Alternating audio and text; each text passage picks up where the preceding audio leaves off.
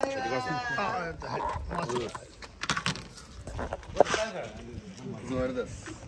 今日はあの僕のちょっと待ってください。OK ですはい。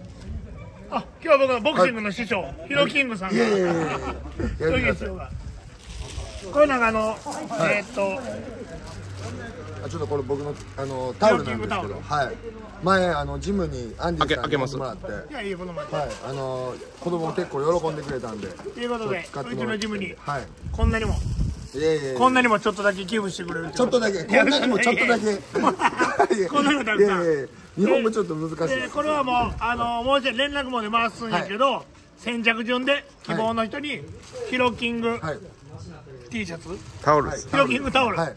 プレゼントしま頑張ってる人すに。はい。頑張ってる、はい。先着順に先着順になるんで、あ先着順もあるか。締め切りやって、はい。ほいでえーっとタオルの枚数が多分12枚123枚ぐらいあります、でえーっとじゃんけんで。はい。数が多ければじゃんけんで、えー決めたいと思います。じゃんけんで、はい。で。えーっと数が少なくて余ったらセカンドストリート僕がちょっと余ったらちょっとね。